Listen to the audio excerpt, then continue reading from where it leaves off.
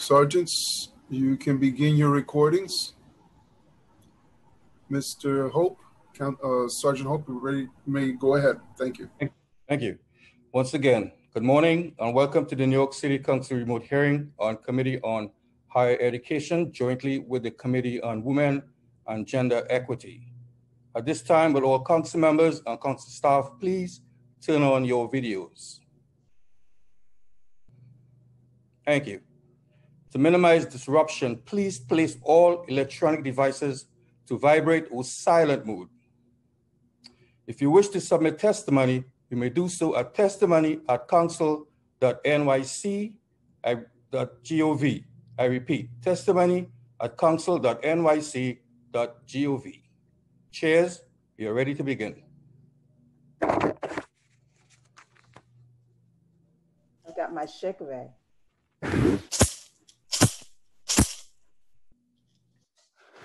Good morning and welcome to today's virtual oversight hearing on childcare services at City University of New York in the wake of COVID-19.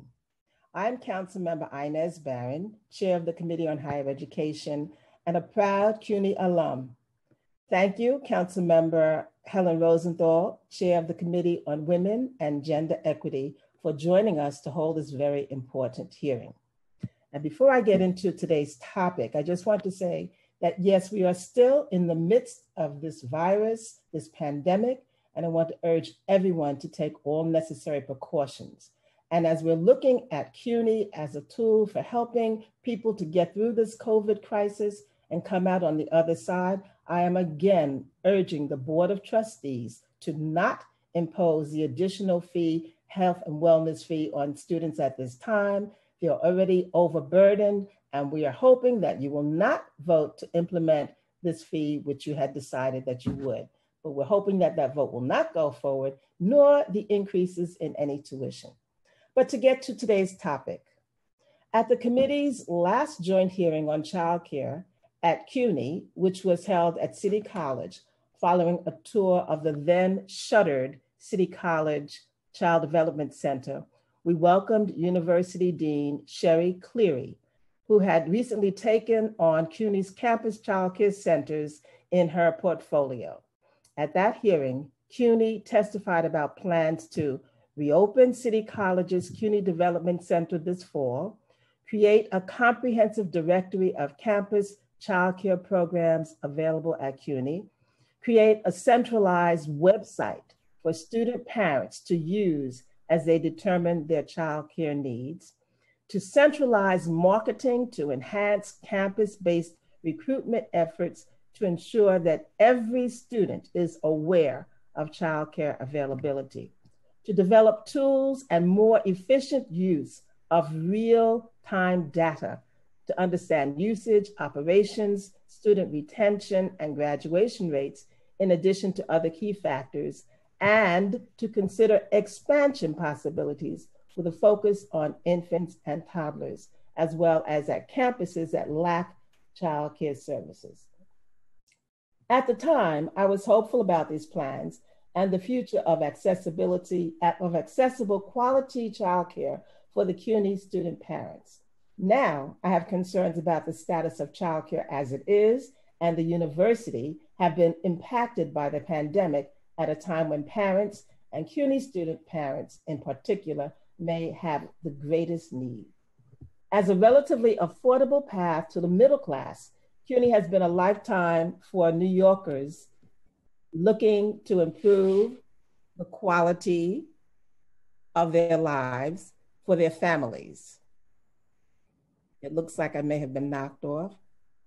No, you're good. Okay. Quality for their families. Uh, but in a city where childcare costs are estimated an average of $1,300 for infant care and $1,030 for a four year old, access to affordable quality childcare is one of the biggest hurdles student parents face when pursuing higher education. An August 2019 US Government Accountability Office report found that more than one in five undergraduate students in the country were raising children and about half of the students left school without a degree. In 2015 2016, an estimated 55% of student parents were single parents. 44% were working full time while enrolled, and 64% attended school part time. Yet, despite a dearth of time between parenting, completing coursework, and working for pay, student parents often have higher GPAs than students without children. They are also more likely to drop out, as per the Institute for Women Policy Research. According to CUNY's 2016 Student Experience Survey, SES, the most recent SES available online, 12% of CUNY students, 11% at uh, senior colleges, and 16% at community college were financially supporting children, of which 49% reported having children under five years of age. 46% senior colleges and 54% community college, yet only 6% of CUNY student parents utilize campus-based childcare. Meanwhile, 37% of CUNY students' parents pay for off-campus childcare. Note that this issue primarily impacts women of color at CUNY. 71% of CUNY student parents are women and 51% are students of color. Last March, COVID forced CUNY to transition to a distance learning model, which was a huge feat accomplished through sheer determination. As it will be expected with such a large undertaking, undertaking, there were hiccups along the way. But we have come out of the other end, and now we need to understand what the quote, new normal is in light of the pandemic. And now, more than ever, we need to hold fast to the university's mission to be, quote, of vital importance as a vehicle for the upward mobility of the disadvantaged in the city of New York, end quote. In addition to gaining a better understanding of the university's plan to support student parents at this time, while many have lost their jobs and many may be otherwise struggling, I am particularly interested in the status of the CUNY Family Empowerment Community College Program, a pilot initiative to support student parents for which CUNY's Borough of Manhattan Community College, Bronx Community College, Hostos Community College, and LaGuardia Community College received a total of $2 million over three years to serve approximately 160 student parents. In my capacity as the chair of the Council's Committee on Higher Education, I am committed to demanding real investment in the city's Black and Brown communities, which includes investment in CUNY. This includes fighting for a tuition free CUNY, as well as supportive programs that lead to degree attainment, which is an investment in the city's economy. Indeed, New York is one of the most culturally diverse cities in the country, and along with many of its great institutions, such as CUNY, New York is the greatest city in the world, not in spite of its diversity, but because of it. Uh, I would like to acknowledge the work done by my Chief of Staff, Joy Simmons, uh, Indigo Washington, my Director of Legislation and CUNY Liaison, Chloe Rivera, the committee's Senior Policy Analyst, Paul Senegal, Counsel to the Committee, and Monica Peregrine, the committee's Finance Analyst. And at this time, I would like to have, I will turn it over to Councilmember Rosenthal, Chair of the Committee on Women and Gender Equity for her opening statement. Thank you.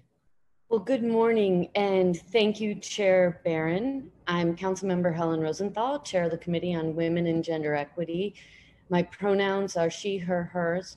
I want to thank Speaker Johnson and Chair Barron for uh, Chair Barron of the Committee on Higher Education for working uh, with us on this important hearing. The lack of affordable quality childcare in this country has had a historically profound uh, impact on women, both socially and economically.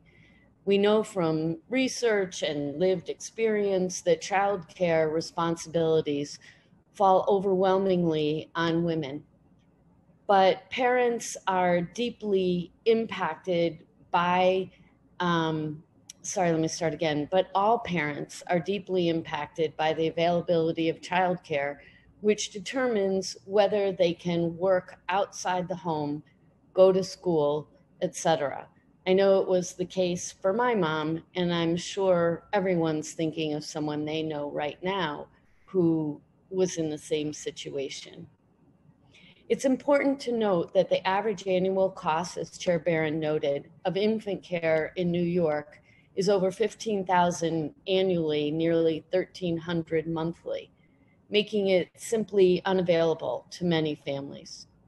Childcare is a fundamental need, and the current crisis ha has exposed the inequities and weaknesses throughout our childcare system. Many of the community-based childcare centers, which were closed during the pandemic, are minority and women-owned businesses. Both the loss of these childcare centers and overall school closures forced the city to launch its own childcare centers for essential workers. For the purposes of this hearing, we are here today to investigate the lack of childcare at CUNY, knowing that the lack of childcare is one of the main barriers that women with young children face in accessing higher education and the workforce, exacerbating gender based economic inequality and inequity. As mentioned at our last hearing on this topic, studies show that people with a bachelor's degree earn 68% more and are half as likely to be unemployed than those with a high school degree. And these economic impacts have been intensified by, by the COVID 19 crisis. Addressing childcare at CUNY is incredibly important on its own.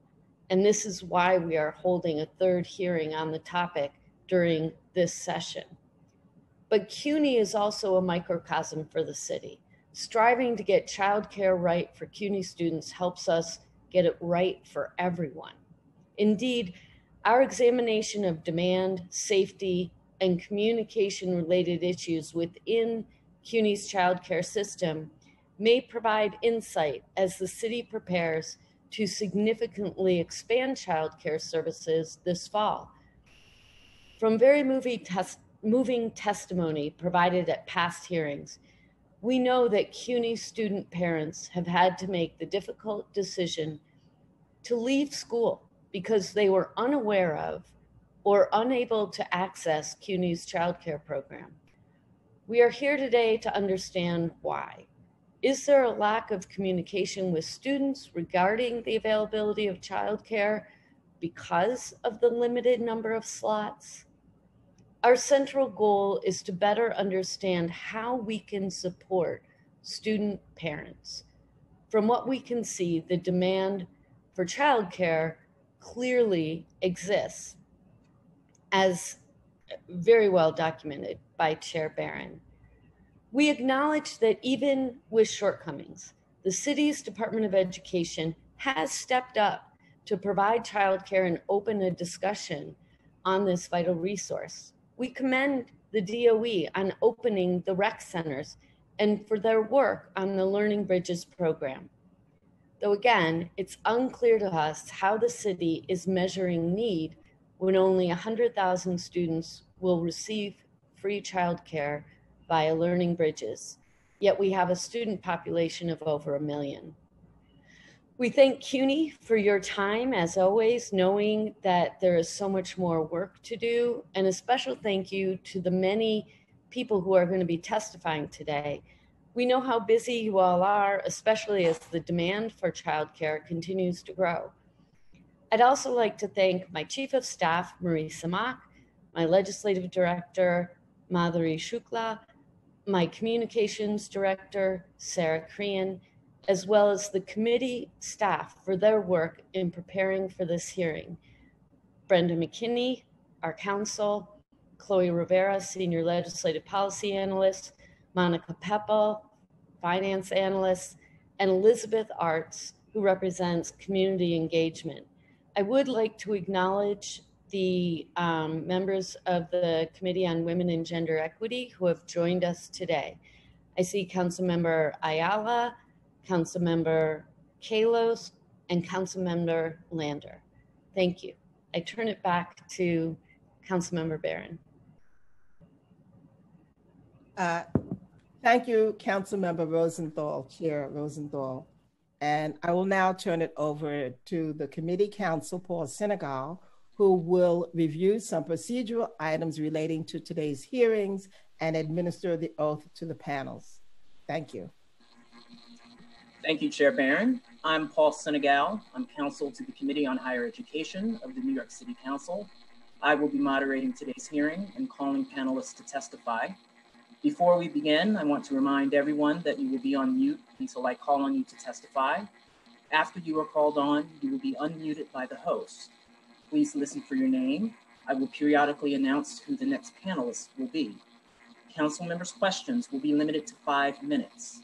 Council members, please note that this includes both your question and the witness's answer. Please also note that we will only allow one round of questions at today's hearing. For public testimony, I will call up individuals in panels. Council members who have questions for a particular panelist should use the raise hand function in Zoom. You will be called on after everyone on that panel has completed their testimony. For public panelists, once I call your name, a member of our staff will unmute you, and the Sergeant at Arms will give you the go ahead to begin speaking after setting the timer. All public testimony will be limited to five minutes. After I call your name, please wait a brief moment for the Sergeant at Arms to announce that you may begin before starting your testimony. I will now call on the following member of the administration uh, to testify Sherry Cleary, University Dean of Early Childhood Initiatives. And I just want to note that Ms. that Dean Cleary will be accompanied by Keisha Fuentes, who is the University Manager of Child Care and Leadership Programs. Uh, Ms. Fuentes will be available for questions um, after Dean Cleary finishes her testimony. I will now deliver the oath to both of you, and after, I will call upon each of you individually to respond to the oath. Dean Cleary, uh, Ms. Fuentes, uh, would you please raise your right hand? Do you affirm to tell the truth, the whole truth, and nothing but the truth before this committee, and to respond honestly to council member questions? Dean Cleary, I do. Ms. Fuentes, I do. thank you very much. Uh, Dean Cleary, you may begin your testimony when ready. Thank you very much. Um, good morning, Account Chair, Chairwoman Barron and Chairwoman Rosenthal and members from the committees of higher education and women and gender. I have to say, I so appreciate your opening comments. Thank you so much. Um, it's my pleasure to be with you today. I'm joined by Keisha Fuentes, my colleague in this work. I'm Sherry Cleary, University Dean of Early Childhood Initiatives, and I have the honor of working with CUNY's 17 campus childcare centers. I also lead the work of the New York Early Childhood Professional Institute. I co-chair the Governor's Early Childhood Advisory Council. Uh, um, I oversee the Family Empowerment Project, and I chair the CUNY's newly formed Student Parent Task Force. Um, I assure you that we have made progress in every one of the components of my previous testimony. Uh, in the past year, I'm also going to share with you that my office has created the CUNY Early Childhood Work Workforce Scholarship, which has provided career and college advisement and scholarships in support of career mobility to individuals working in the city's early childhood programs. Of the 100 first time recipients of this scholarship, 99 completed their uh, studies last semester in spite of the pandemic. Of the 99 indiv individuals who completed, 91% were women, 87% were of color, 72% uh, were over the age of 30, and 96% earned grades ranging from A plus to B. Today, I'm here to give you a report on the campus childcare centers. As is the case with every entity across the city, state, and country, the campus childcare centers have been deeply affected. At the same time, each of the programs has risen to the occasion and has fulfilled their mission of serving children um, of, of campus student parents with great care and attention to detail while maintaining teaching relationships with each and every child. You will see in the first chart that I attached to my testimony that the child care centers enrolled 18% more children in the spring 2020 semester. As the pandemic became a reality, These children were served at home using a range of remote learning platforms. Select centers stayed open to provide childcare for essential employees across the city. During the past six months, the campus childcare centers used the funds provided them by the state and the city council to keep all program staff employed as they conducted regular family wellness uh, calls and continued to engage children uh, through virtual means and through the US mail and by telephone.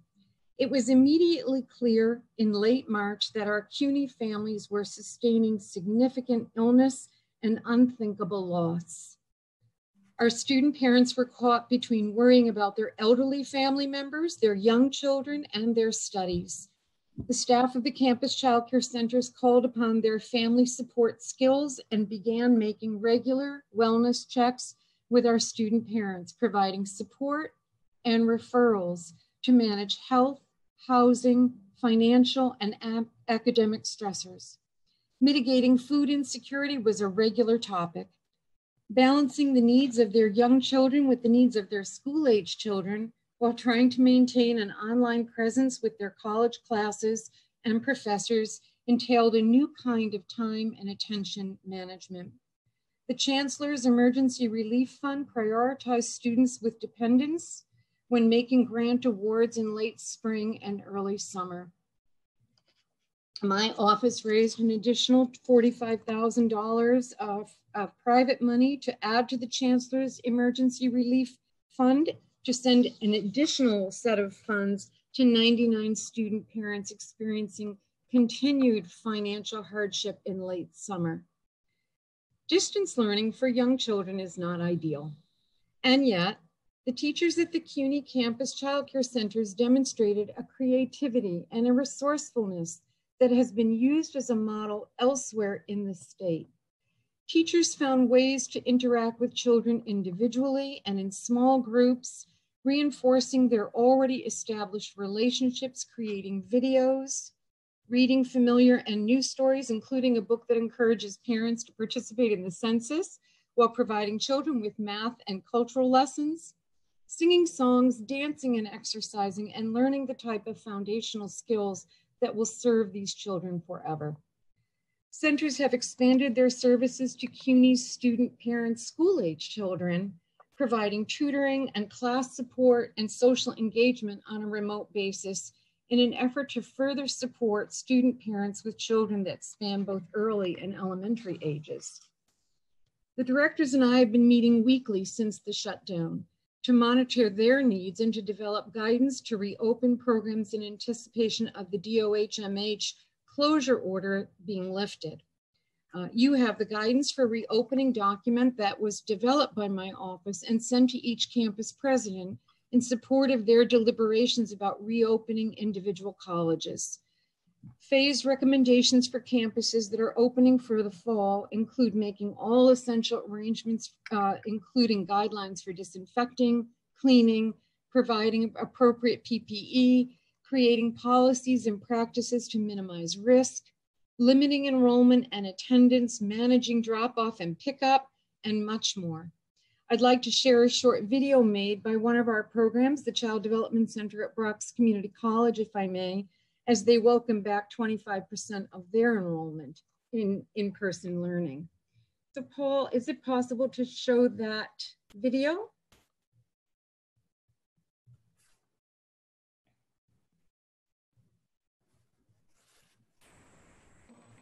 The video will be played shortly. Thank you.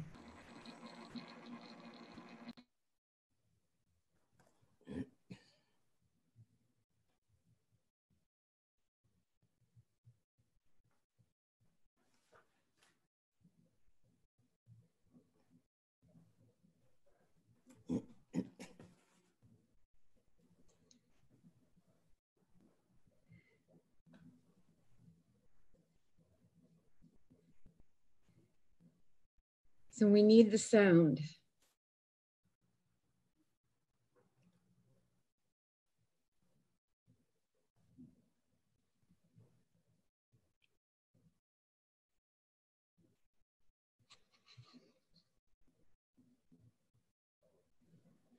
While we're waiting, I'll tell you that this video was made to help parents get ready for rejoining the program uh, in a face-to-face -face format. And then it was uh, shared with all the other programs and it's been shared across the state as an example of how to support families in making the transition back to a face-to-face -face, uh, format, which most families are very, very nervous about, understandably.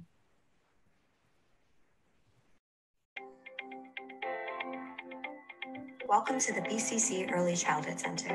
We're opened and ready to welcome you and your child back. We've developed this video to help prepare you with some of the new procedures that we have implemented to ensure the health and safety of you and your child. First, you will be asked to fill out a survey the night before you drop your child off. Once you have completed the survey, your name will be added to an approved list of individuals to be allowed on campus. It is very important to ensure you fill this survey out in a timely manner, as public safety will have the right to turn you away. Masks are required for all adults and children over the age of two while on campus. Once you have been cleared by public safety, you will make your way to the Early Childhood Center. Once you've reached the center, your child's temperature will be taken. Once your child has had their temperature taken and has been cleared, the staff member will then take the child, wave goodbye to you, and escort them to the lobby where they will sanitize their hands.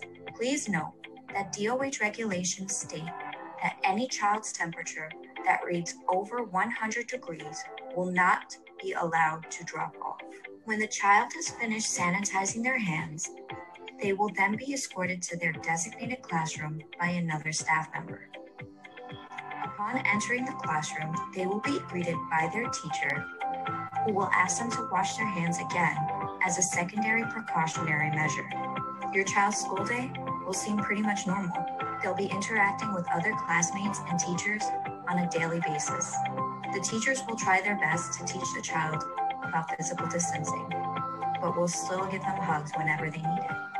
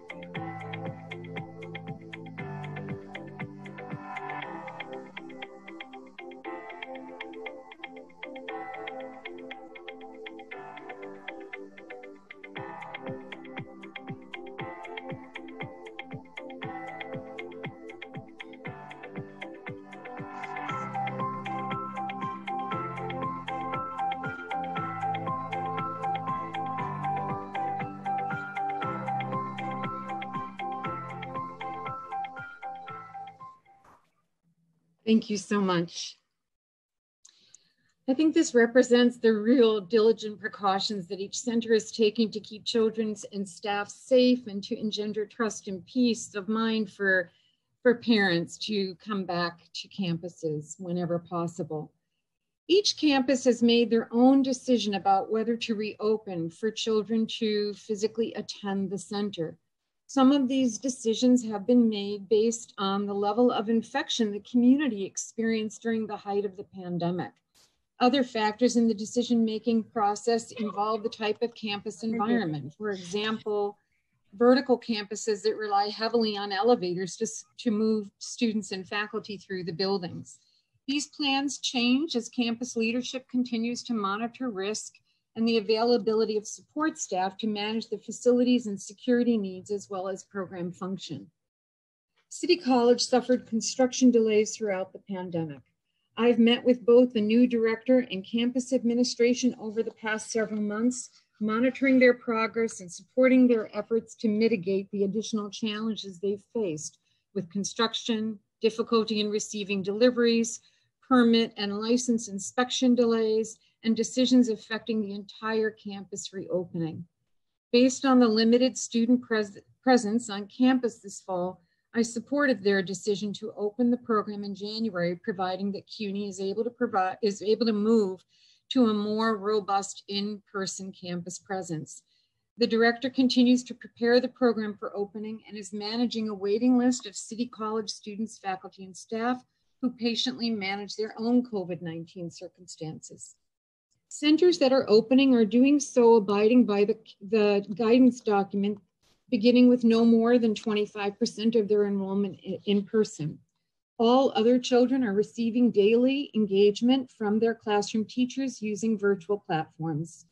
Most of the time, the engagement is synchronous. Some of the programs have added virtual storytelling features and other activities that parents can use other times while they are attending one of their virtual college courses. Campuses that also manage pre-K contracts from the city and directly from the state are in compliance with the requirements of those contracts and in alignment with family choice, maintaining daily engagement with children in person and virtually. As the semester proceeds and we continue to monitor program success and challenges, we will remain hyper vigilant to manage risk while providing a range of supports to families and their young and school age children. We remain optimistic in our belief that there will be a vaccine in the future and that we will be able to build enrollment across the year to accommodate as many student, parent, children as possible. Uh, I want to thank you, and I'm truly happy and ready to answer all of your questions. Um, Thank you. We will now turn to Chair Barron for questions. Uh, thank you very much. I want to thank you for your testimony and for including that video, uh, getting it done, and really having an opportunity for us to see what it is in action. And I, before I forget, want to acknowledge the behind the scenes staff that's working so diligently on juggling all of this. I want to acknowledge all of that. Before I go further, I do want to acknowledge that we did have higher education committee members as a part of the panel. Council Member Mazel and Council Member Rodriguez are both on this, or they were here. We want to acknowledge their participation. Um, I've got lots of questions before I turn them over to my chair, uh, Rosenthal, who's sharing with me today. And I'll try to be succinct because I want to allow the members to pose their questions as well. First of all, what is the status of the Child Care Center at City College? So the status of the City College uh, Child Care Center is that it is nearly complete in its construction. It is working with the Department of Health and Mental Hygiene to secure its final inspections. Those two pieces, both construction and inspections, have been delayed. Um, most of the inspectors are, are also working remotely, and so everything has been delayed. Um, but the center it, the last time I was there, which was uh, across the summer, is looking very beautiful. And uh, items have been unpacked and things have been put in their place. There is a robust waiting list and, uh, and when the program is able to open, it will open, I would hope, with a full enrollment, unless, of course, the pandemic uh, perseveres, and then it will open in the same way that we've guided the other programs to open in phases, starting with 25%, adding another 25% after that, and, and so on. Um, I think that in, in truth, because there are almost no students on campus and only students who are participating in required labs um, are being are on campus, it made the most sense, especially since the licenses are not secured yet, to wait until the uh, spring semester when most of CUNY is anticipated to to move into another phase. Okay, and of let course, me pose a more not sure. Let me pose a more direct question. What is your target date for opening? And My how can I target- need assistance in helping you getting the documentation or the uh, permissions that you need? Because I'm very, very displeased. I understand the pandemic came, Mhm. it's- but this is unacceptable that it's taken five years for a program that was supposed to have been a project to have been completed in one year. So what now is your target date to open? So I can speak for myself. I, I, I, my target date is that the program would open at the very least for 25% of its enrollment in as the January semester begins, as the as the spring semester begins. I don't want to say spring because that does imply much later than January. So all campuses reopen after this after the winter break uh, in late January, and our target date is the is the, is at that point. Um, Okay. Everything should be done, and I want to say that I truly welcome your offer of help. And if we need to, I will take it, you up on it. I I, re- I really appreciate that. It's very heartfelt and sincere, and I want to do whatever I can to help assist in that. Uh, Thank you. Secondly, the comprehensive directory that we discussed at our last hearing. Yeah. What is the status of that directory? Comprehensive directory of childcare programs at CUNY. Yes. So um, it is complete and it is just so that the framework of it has been completed and we continue to put more and more information into it, but its framework is complete. Uh, some of the funding that you provided uh, to us has afforded us the opportunity to, I, to hire an extraordinary uh, data manager who has created this framework for us. And we just now continue to populate it, but it is, it is complete.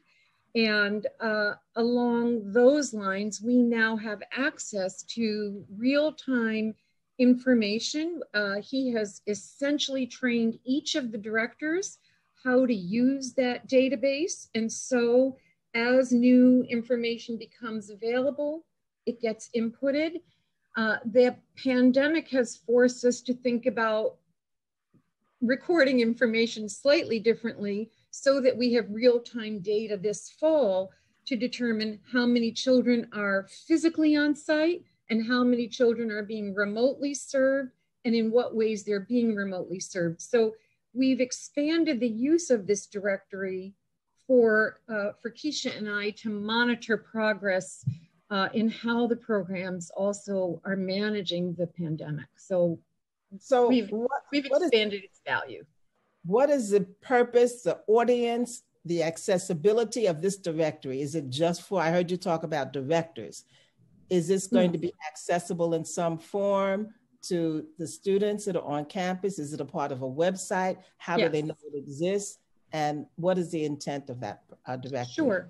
So we are in the process of building the website that I referred to back in the fall or winter uh, when I last gave testimony. Clearly that effort has taken a slight back burner, but that doesn't mean we stopped working on it. We just slowed our work to really spend more time focusing on the pandemic. But the website is in development and and as that website is launched, it'll have all the, the basic directory information on it. Students will be able to uh, use it to consult, um, to, to figure out where they might want to be.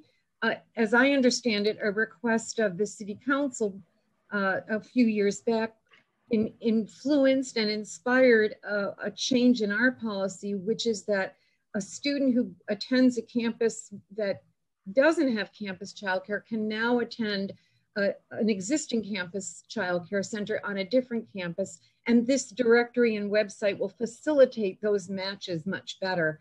And uh, at the onset of the pandemic, when we decided to be open for emergency uh, workers, essential workers, we formed, we created a centralized site, website, and contact number.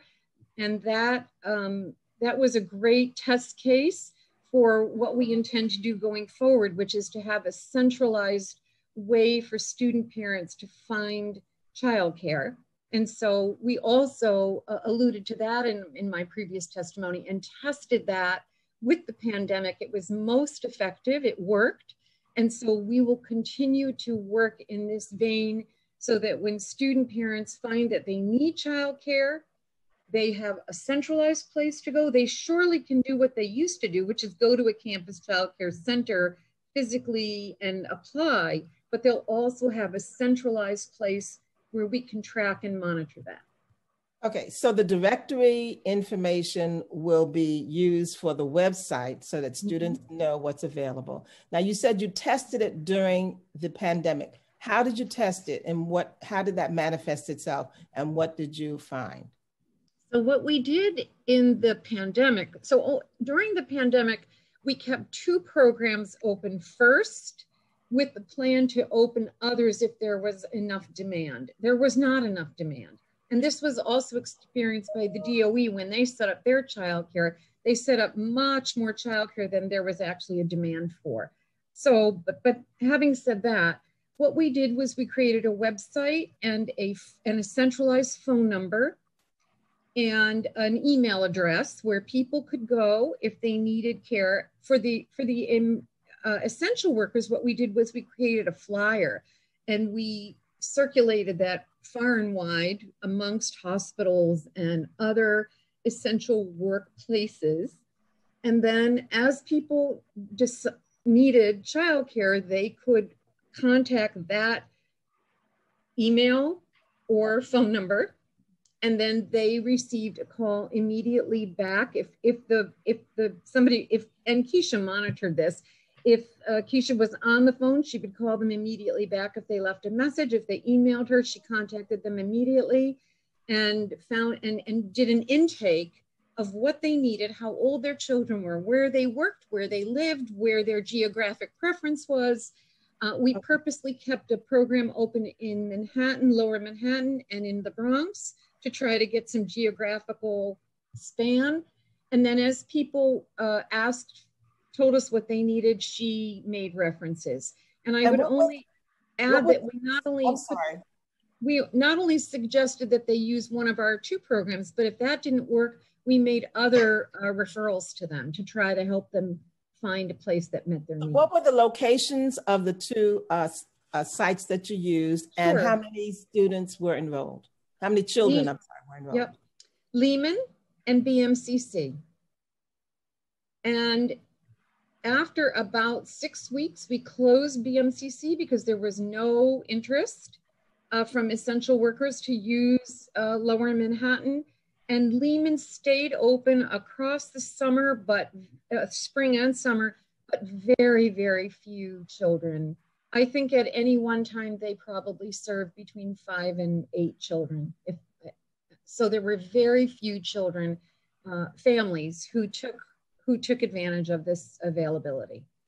I find that uh, interesting. I would I would have thought that there was a greater need than just five or eight. Yes. And was it limited to just the essential workers, or did you do an outreach then, since you did have a center to try to get others involved? Uh, we did outreach, and the governor's office did outreach. The governor's office asked for the flyer and and sent the flyer to as many uh, we we gave them full you know we said send it to whomever you think in the city will need our our services. And um and and that's just what happened. So we were open we wait we worked we manned this uh phone and email account every single day. And there were there were probably you know, there were several people that that inquired, but what they needed, um, you know, what they, they were able to find other places. hours that it was available the service hours. Maybe that was question. So the the they the each program was open for five days a week, full full days. So eight to six Um, on any on any given day. All right, so that leads me to my next question, uh, which is we had talked about it in our last uh, hearing centralized marketing to enhance the uh, campus based centers availability, knowing that if they were there and recruiting, because I think that there's a there's a miss there's a disconnect someplace. So that comment about only five to eight during the summer leads directly to the next question.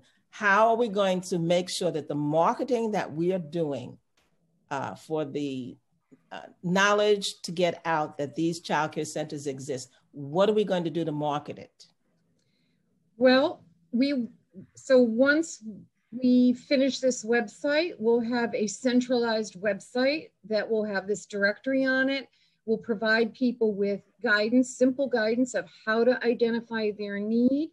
And then we'll be able to centrally monitor what people need and where they need it and, and how they need it. It'll also have um, an additional effect because as we understand what student parents need, we'll be able to support our programs to add infant care, to add additional hours. As you probably remember, some of our programs have very extensive hours and days of services. You know, I always use BMCC as an example. They're open during regular uh, life, they're open seven days a week and five nights a week. Um, so we, we want to monitor what is it that student parents need. I would also add that we've established a student parent task force that is CUNY wide to begin to uh, really study and understand what are all the needs of student parents. This will, this task force charge exceeds or extends past early childhood and childcare. But of course, there will be a, a significant focus on early childhood and, and childcare. Uh, but we'll also extend it to really better understand and help campuses understand what are all the opportunities to meet the needs and support the success of student parents.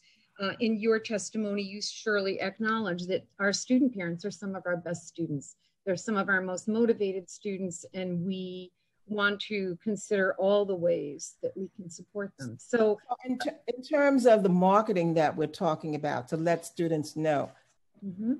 will you do, how will you gather the information to determine where the greatest need is, whether it's for UPK, youth K3, or child, early child? How will you know mm -hmm. where the need is so that you can determine how you will set it up at the different campuses? And is so it one of, each campus?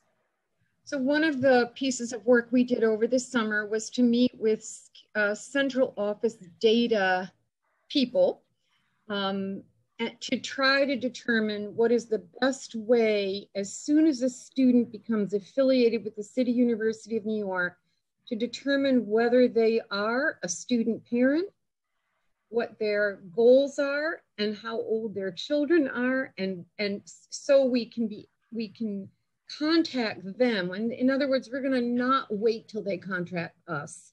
We will contact them to say welcome to cuny. We understand that you're a parent as well and we'd like to understand what your goals are at cuny and what your needs are.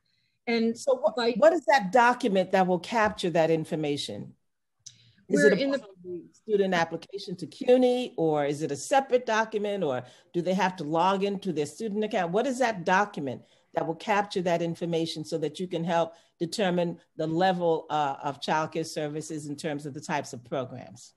So one of the things that we've acknowledged in the in the course of these meetings is that CUNY students come to us in many different ways. So right. one form is to use their FAFSA form, but it's not it's not adequate enough because not everybody files a FAFSA form and not everybody, so, so we worry that we wouldn't catch everybody that way. So we will use the FAFSA form to first determine who has dependents. Um, and then we're working right this moment on is there a question on the application that we would add? Is there a, you know, what are the other ways? We've met with some of our uh, central office partners that run our um, programs where students come in maybe at a, um, you know, at a, at a job training level and how can we access their needs and support and provide support. So we're working with different parts of the central office to make sure that we're maximizing our ability to identify all as many student parents as we can. Um, and when do you anticipate that you will have that document or that uh, question on the application or question on the outreach uh, entry forms that children that students will be completing when do you anticipate that will be ready so that we know every student entering cuny or already in cuny that's another question not just those that are entering but those that are already in how do we do that right. so when will you have this comprehensive ability to let students know all of the grant programs that cuny has so we will work on building our capacity this year, this academic year started last week, two weeks ago. We're working on that now. We have another meeting next week. We'll begin to figure out where are the gaps in what we're able to collect and start building, um, start building uh, strategies that way. Um, we will think about how we integrate ourselves in new student orientation. I think there are a lot of different ways for us to build this capacity. I would expect that within this calendar year, I'm sorry, within this academic year, we would have all of our strategies in place. It takes a bit to get something into that new application, new student application. To your point, we need to collect data on existing students Yes. Um, and so we have to figure out what that looks like and how we go about that. Um, so it's, you ask a great question. We're working on it.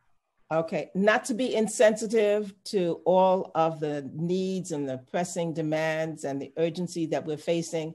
If we could work double time or double up our efforts and get it for January, along with that City College Child Development Center open, that would be really great. And again, if I can be of any assistance, please let me know. I'm available to put in some ideas and some hours, and I have staff that I can assist with, that I can have assist with it. So I really think that it's critical that we open these opportunities for students so that they can get into uh, having themselves complete their education because they know they have childcare. And lastly, before I turn to my colleague, Helen Rosenthal, how can we expand what we are already doing? How can we increase the numbers? Because that was one of the questions that we asked from the previous hearing. How can we expand that? What can be done?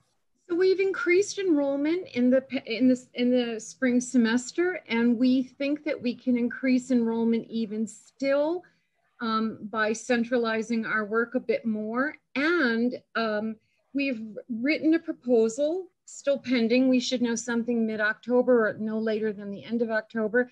We've written a proposal to um, to, to actually deepen and strengthen the work that some of our programs do. And uh, part of that proposal was to determine whether we could add more infant and toddler care. We acknowledge that is a, it's very important to me that we expand not only in number, but in the age ranges of children that we serve. We know that if student parents could start back to back to school earlier uh, with, with younger children, they probably would have a better chance of succeeding and of course finishing, um, which is for everybody the goal. Uh, and so we've just, as I said, written a proposal um, for private money to, uh, to build out some of this work with the goal, if we're successful in a be, being granted the money and, and doing what we promised, to then expand out after the first, team, first 18 months of this project to include even more campuses. So we're right. going to start targeting three campuses and, the, and then expand out. And so while we are incredibly indebted to you, uh, the city council for your support. We're also interested in, in finding some private money to help us make uh, greater expansion quicker. And um, so, so that's what I'll say is that we know it's both about centralizing our work to increase enrollment, but also to look at how can we serve a, a wider age range of children to go down into the infant program. Thank you. Thank you so much for your testimony. I appreciate it. And at this time, I will turn it over to my co-chair, Councilmember Helen Rosenthal, Chair of the Committee on Women and Gender Equity. Thank you. I have lots more questions, but I want to share the time. Thank you. Thank you. Thank you, Chair Barron. I really appreciate that. And you already hit on some of the most important questions and cleared up a lot of the questions that we had been having going into this hearing. So I really appreciate you I'm for glad. that. Um, Dean Cleary, I, I really just have two questions or two areas of questions that I want to focus on. One is sort of trying to get a better handle on whether or not we're meeting the demand um, for childcare, and secondly, around uh, the funding.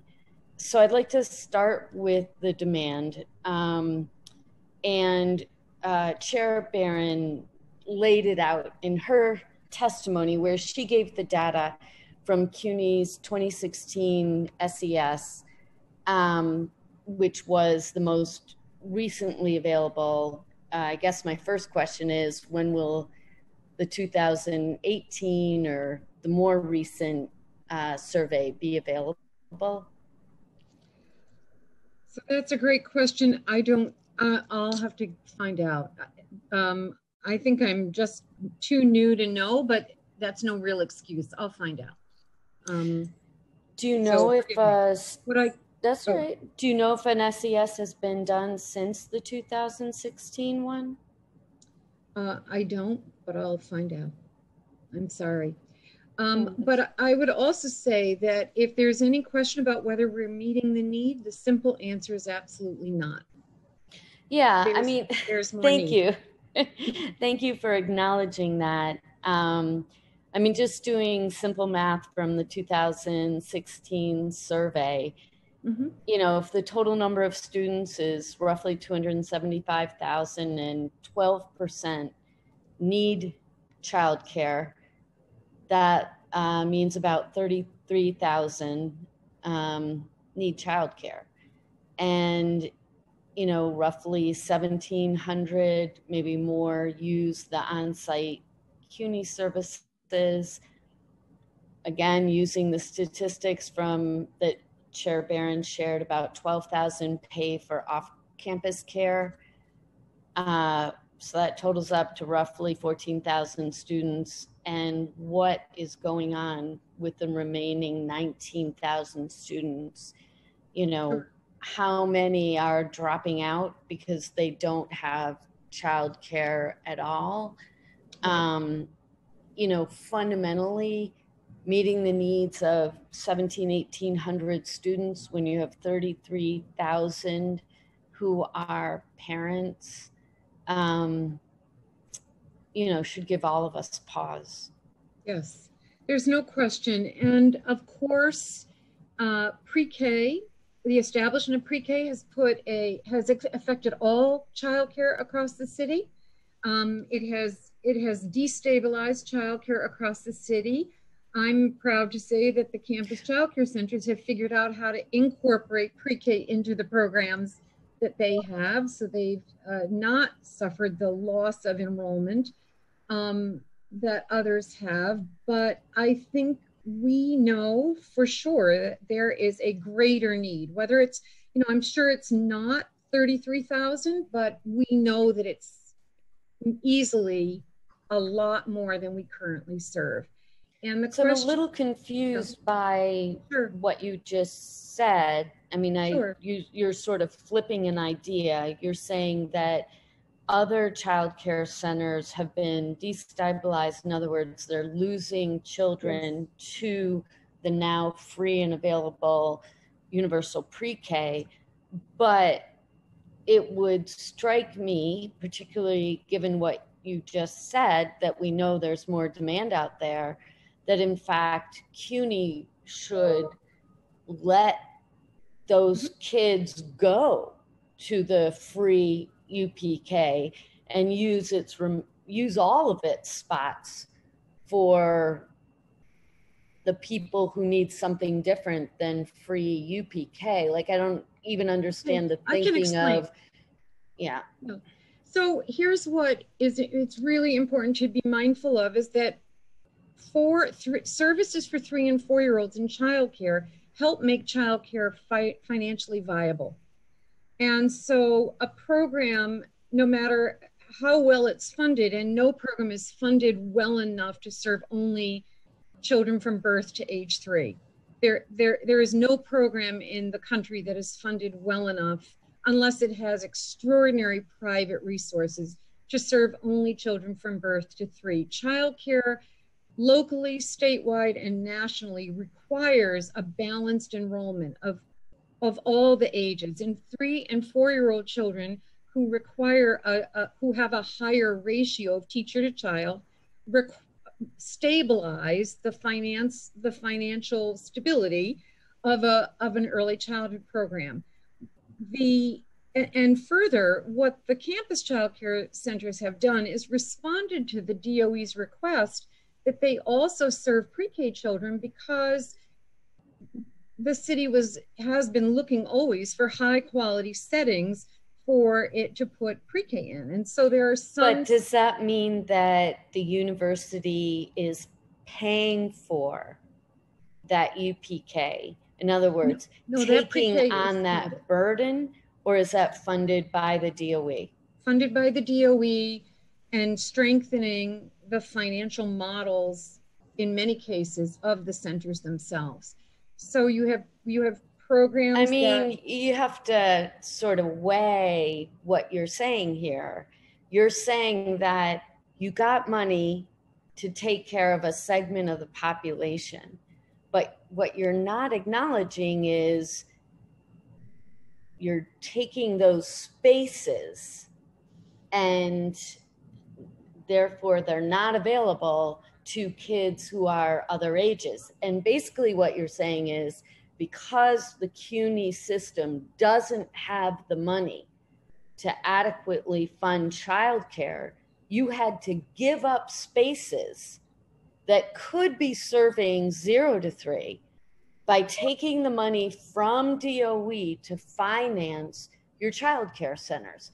Another way of thinking I, and I understand finances drive so much. I really do, more than you probably know. In much decision making is based on the finances that are available. That doesn't mean it's good decision making. Mm-hmm. It just means that you need money. But fundamentally, what could have happened is CUNY campuses could have said to their parents, use the free UPK that the city is offering, perhaps at a uh, elementary school near you, at a childcare site near you. I've got mm-hmm. plenty in my district. Use that. And if the money were available, which it's not, then CUNY would have had more spaces for the people who need childcare for zero to three. So I guess what I'm suggesting is of the 33,000 children that we acknowledge that CUNY has, many of them are already using their community-based pre-K. Yes, we so know that 14,000 are, or 13,000. Right. No, I mean, I'm just doing the math off of your 2016 yes. SES. So, so 13,000 are using their community. That right. means that 19,000 needs somewhere to go. Right. So parents choose different things. Some of them choose to use campus childcare, and we acknowledge that we need many more spaces for more student parents to use our programs. Right. And what There's I'm no saying question. is that because CUNY made the decision to take the money from DOE Mhm. in order to subsidize the cost. You actually, CUNY actually lost spaces that could have been made available by the city's generous offering, brilliant offering, no question, of universal pre-K Right. what you've done fundamentally because the because CUNY is not prioritizing childcare is they are taking city money to take away spaces that could have been freed up if you had the money for zero to three. And so if what you're taking, I mean, I guess I'd be curious to know of the 1750 childcare slots, how many are UPK? I can get that number for you, but but I, that tells us. I mean, let's assume sure. it's half. I mean, yeah, is it a quarter? Not. No, quarter. Ten percent. If it's ten percent, that's 175 kids mm-hmm. 175 student parents mm-hmm. who can't send their kids to CUNY because you don't have space. So let me assure you that the majority of the children that are three and four, and especially especially four that are that are being partially funded by a, a, a pre-K spot, the majority of them are CUNY children whose parents want them to be on campus with them. And I and I hear what you're saying. Yeah. I ju- I just I mean, I think, we're trying to really meet the needs of what parents are telling us they want. And and it is not a good idea from a child development standpoint to have a child be somewhere for a year or two and then move for a year or two and then yet another move. So the uh, of course, of course, right? I'm all for and I know that stability. you- right, But so- um, I'm just, I'm just saying right. that I And I do want to link this to the second point, which has to do with cost. And what I'm struck by is in your testimony, you said that you were able to raise $45,000 for 99 kids to get childcare. No, no, to get fine, no, sorry. We raised some money to add to the Chancellor's Emergency Relief Fund to just provide parents of our highest need families, to provide them with some financial support, nothing, not childcare. Just so, let me just talk for a minute about the Emergency Relief Fund that the Chancellor created early on, there was private funding and public funding combined to support students at the City University of New York that were in desperate need of financial support and assistance. And that those monies were distributed in late spring across all of our 25 campuses for students that were determined to have financial need it wasn't a lot of money, but it was something to kind of give them a little bit of support. When we realized that we too could perhaps do more of that, we raised, uh, we were able to apply for a $45,000 grant. I did that.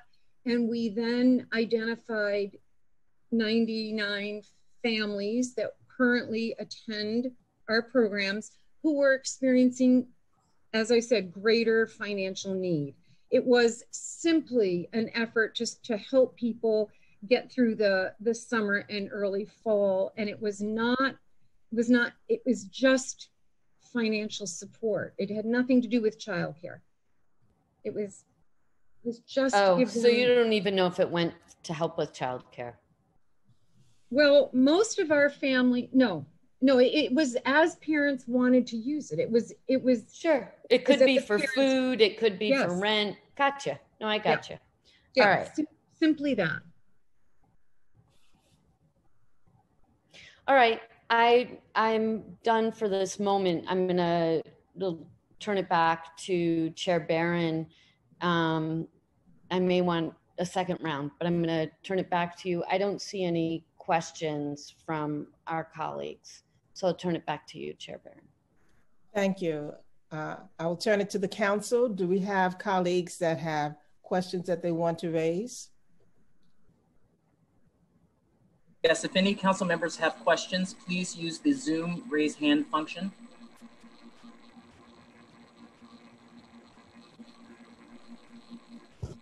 Seeing none, uh, we'll turn it back to Chair Barron.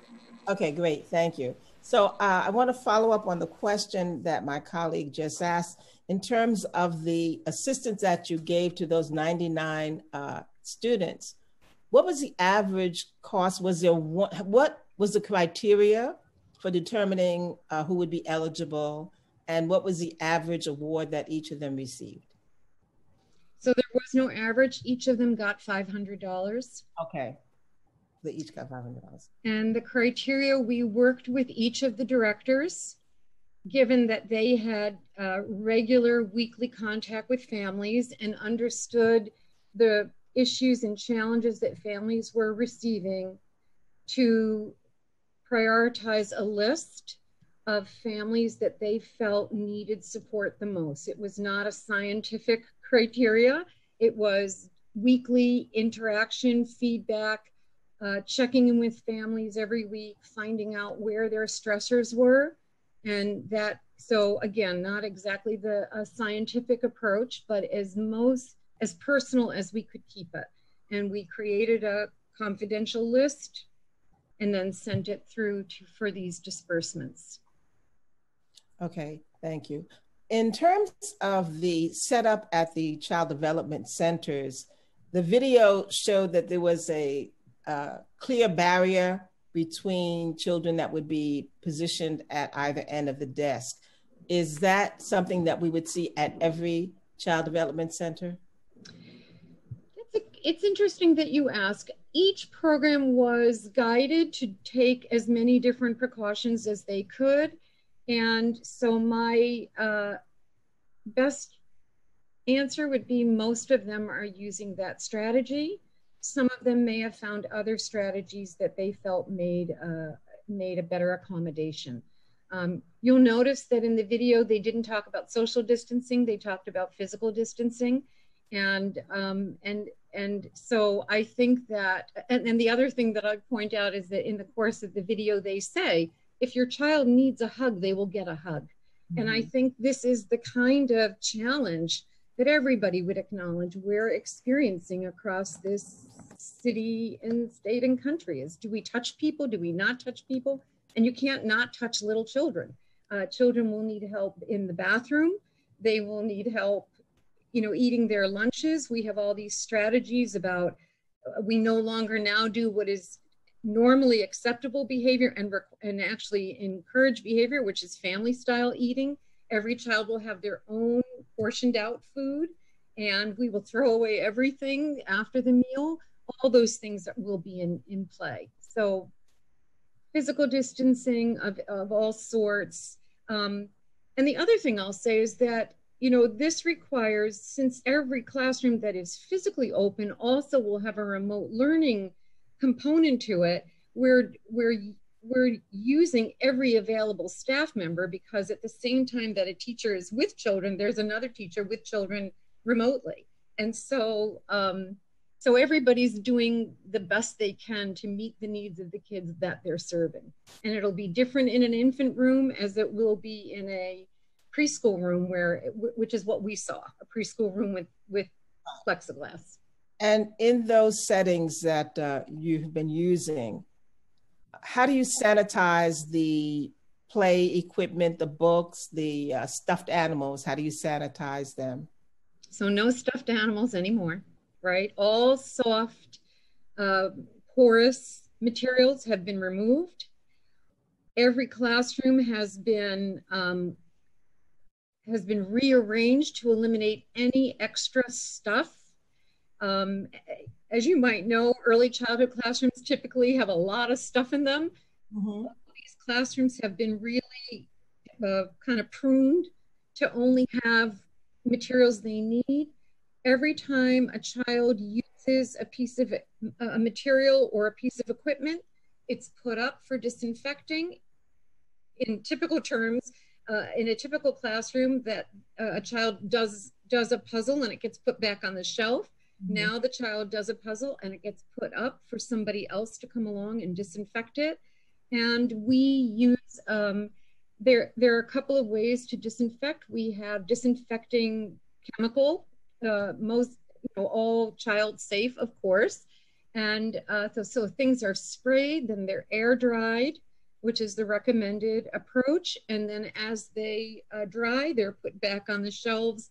And so what teachers have had to do in every classroom that is open is prune the amount of stuff, but to make sure that there's enough stuff to be um, rotated in, as you might, uh, is what I'll say. Great. Uh, I want to acknowledge that we have been joined also by Majority Leader Laurie Cumbo, who is a member of the Higher Education Committee. We want to make that acknowledgement. And if you have any questions, Councilmember Cumbo, please indicate that and uh, the council will know that he can call on you at the appropriate time. Uh, for CUNY, was there any interaction between CUNY and its rec, the rec centers that the DOE established? No. So there Not were no. I'm aware. Okay, so there were no rec centers at CUNY. Uh, not that I'm aware of, no. Okay, and ha- have you been involved at all with um, providing any type of? This is not really a question specifically for early development for early childhood, but have you been involved with the DOE in terms of considering what might be done to accelerate uh, those persons, those students who are in a teacher prep class, that they might in fact be able to accelerate their classes or the requirements so that they can in fact become teachers, even perhaps in a early childhood setting? Um, well, in community-based organizations, people who have not yet received their credentials can certainly work in early childhood settings and uh, they can work in those settings with study plans. And another part of my office helps students work on those study plans. And earlier in my testimony, I talked about a scholarship program that we funded at CUNY for uh, the early childhood workforce to expedite their credential and degree success. Um, also, we worked with the state of New York, the state education department to um, create, to extend certification for, for our graduates who had not yet passed the certification exams. So they got a grace period for a year um, so that they could begin their teaching as certified teachers while they were uh, using a grace period of a year to, to take their exams. And my office tutors people to prepare them to prepare for their exams and to pass them successfully. So my office and a number of other CUNY offices are very involved in trying to support student uh, students in, in early childhood and childhood ed to uh, to work through the systems and get employment. In my office, early childhood is our biggest focus. We also um, acknowledging that almost immediately the Department of Health and Mental Hygiene in the city closed down the child care centers uh, at the onset of the pandemic. We created an employment network for uh, for people who lost their work and for students who also lost their work to connect with other employers to try to make matches so that they could find work. We were most concerned about our students who need work to continue to to manage their studies. And so we have this employment network Great. that that has been working fairly well. Uh, getting back to to getting students to know, student parents to know that there are there is some availability for each of you said each campus will have its own uh, policies that will follow the guidelines that you have been issued that you have issued for them to be aware of. So as of Friday, September the fourth, um, we did not the staff that did the research did not see that many of the campuses had, in fact, any updated information about their child care center. What is your role mm-hmm. from Central okay. in assisting campuses to get the information out. They have links to their centers, but uh, there's not information. They have links to the college. The colleges have links, but there's no updated information. So, what is your role mm-hmm. in assisting and having oversight to the campuses to help them understand that they've got to get it out? Yeah. So my role is to support the the 17 campus programs. My role is to meet with them on a regular basis and to help them do the work they need to do. They are autonomous to a very large extent. They are private. Uh, the majority of the programs are private uh, 501c3s and they work independently. They function as small businesses. And my role is to bring them together to uh, help them consider best practices, help them be more successful in the way that they run their businesses, and to support their uh, the way they meet the needs of each and every CUNY campus. In this particular moment, every campus, every college was given um, the responsibility of deciding how it would reopen and what that would mean. Would they would they open their libraries? Would they open their campus childcare centers? Would classes be in person or virtual or hybrid? Would they only have their lab students on campus and everybody else online? And so every single campus, and there are, as you know, better probably than I, there are 25 campuses. They have tremendous autonomy, and the chancellor honors that autonomy and gave them that choice. So each of our child care centers is working with their individual campus pro, uh, administration to make the best arrangements. And those arrangements in the last three weeks has shifted a little bit as we become more comfortable, as we understand what it would mean to include young children on a campus. And as you might imagine, there are some campuses who are still very worried about the health and welfare of small children coming to campus um, during a pandemic. And so each campus is managing this their own way. And uh, our guidance was meant as a floor. Like if you're going to reopen, these are the recommendations we're making. How many campuses have indicated that they are reopening? Um, at least between at least eight are reopened and more are considering a phased in opening. Are there um, any that indicate that they will not reopen, have definitively said that they will not reopen? Um, yes, yes. We know why? And I think we provided you with a list so that you have it somewhere. I don't mean for you to look at it, but um, John Jay has not yet decided. Uh, I'm just looking at my uh, list here. Medgar uh, does not, I think, is, has decided not to open. Brooklyn is considering how to manage because they have a state contract and, and then they have their other uh, enrollment. And so they're working on it. And do we know, you said some of them are questioning whether they will reopen. Yes. Uh, yeah. Others are phasing in. Do we know why Medgar is not reopening? Um, it it acknowledges that it may reopen for some of its pre-K children that are student parent that belong to student parents. But I think that Medgar felt that, uh, and I want to be careful that I don't speak for them, but I think that they felt that it wasn't safe that they were very worried about the amount of, um, of disease in Brooklyn and in that immediate community, as was Brooklyn College. In the Flatbush area, there was tremendous illness. Mm-hmm. And, and so I did speak. Um, I'll always respond if a campus administration wants to discuss their their reopening plans. And, and we had a very a really viable conversation with Brooklyn who expressed their concern about the number of families in their community that had been stricken. And their decision, uh, initial decision was that they didn't want to have anybody on campus. Okay. And I suspect, again, I'm not speaking for Medgar, I have not talked to their campus administration, but I suspect that their concern was simply around health and safety of children of student parents. Thank you. Now, in the uh, in the spring semester, where there were the campuses that did maintain uh, their services, and you said you were able to maintain the employees, and you did not have to uh, dismiss any mm-hmm. employees.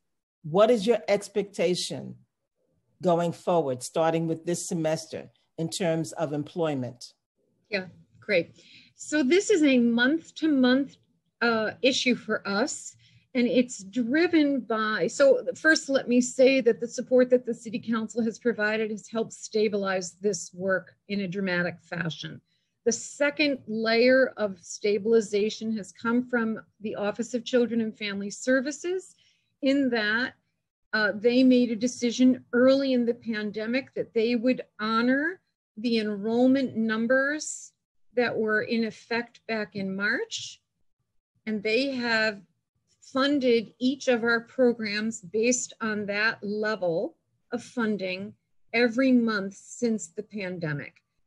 That combination of funding has enabled teachers uh, to be remain employed, directors, every the staff to remain employed, and and that has enabled them to do this one-on-one, day, you know, regular family wellness checks and small group teaching individualized teaching with children is, you know, I'm sure I don't have to tell you that a two-year-old or a three-year-old really can't be online by themselves and uh, and needs help on both ends, both from a parent and a teacher on one end.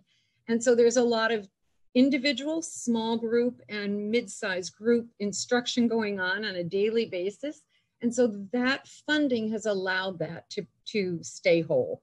And so that's so you don't anticipate that there will be any layoffs of any of the employers employees rather at the child development centers i worry about it every single day and and keisha has been extraordinary in keeping contact with the office of children and family services on a regular basis to ensure that we receive this uh, grace of funding every single month and so we as of uh, last week know that September is funded, and we hope that October will be funded. And that is how we have been, uh, how the programs have been sustained each month by your steady funding and this monthly aff affirmation of funding that we've had since the day of the. Right. I think, I think, I think uh, Councilmember Chair Rosenthal uh, has a great experience with those juggling and monthly allotments since a budget has not been approved and each level of government waiting for the level above them to come with some kind of uh, definitive statement. So we understand that that's a problem. Um, yeah. I don't know if Chair Rosenthal has further questions. I, I do. Thank you very much. And I really appreciate the issues that you just got to, Chair Barron, and Dean Cleary, your um, honest responses. I, I really appreciate that. And, you know, can tell you're juggling uh, a lot. So thank you. Um, I'm wondering if uh, the child care centers are have a plan um, for a possible second wave of COVID? They do. Um, we have been working on that through the summer. So for so one of the things that has happened in many of our most of our sites is that not only did we maintain an online presence, but periodically the programs would send families activities and materials to work with at home. We fully appreciate that not all of our families have a preschool classroom in their in their living rooms. And so we've been uh, setting sending things periodically and um, what we've talked about and what the staff have been doing is creating what we call go bags so that if a program was to have to reclose that on that day, children would leave the site with a bag of things. So Got it. That's we great. are really worried. you know, we never have the luxury, and I'll call it that, to talk about the social emotional impact of this craziness, this madness on small children. They, um, you know, they experience their parents' stress, but they don't understand it. They they yeah. have their own stress because they used to come to school every day or every three, you know, every other day, and now they don't. They uh, they used to have a grandma, and either they don't have one anymore, or they just can't see her anymore. Uh, and not everybody is so great with you know with uh, you know FaceTime, and and there are you know not every grandma is great with FaceTime, and so there are all these things. And so, what the campus childcare staff have been committed to, I would call it dedicated to, is somehow keeping a real lifeline of social emotional connection to these children. And so if it's way, you know, you could go online and download somebody reading a story, but it's way, way better if the teacher you know is reading you that story. And so teachers have videotaped themselves reading stories. They have videotaped themselves doing, you know, exercises and songs so that a parent oh, can wow. put that on. And so these go bags are a part of that. Like, what would happen if we end up with a second wave and we have to shut down again? How are we going to stay connected to these children and help them? that? So, go bags, mailing things. Um, you know, CUNY has been extraordinary in that while nobody, you know, feels like nobody's on campus, if we have to do a mailing, you can contact the mailroom on campus and you can and they'll help with that. So we've done some of that kind of thing. Okay. A few programs are member are participants of Quality Stars New York, and they have had additional supports to get things out into the community into into the homes. Makes um, sense. So makes sense. Thank you. Um, and then again, this is a tricky issue when it comes to fees, but also, you know, what are you charging students, but also having enough money to keep your teachers employed and the child care centers open. Um, I'm wondering, uh,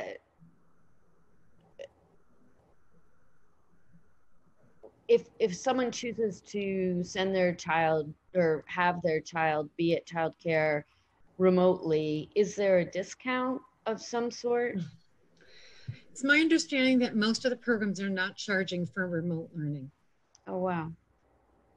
And, and I think, I think it's, and it's a, of course a decision by uh, the campus by campus.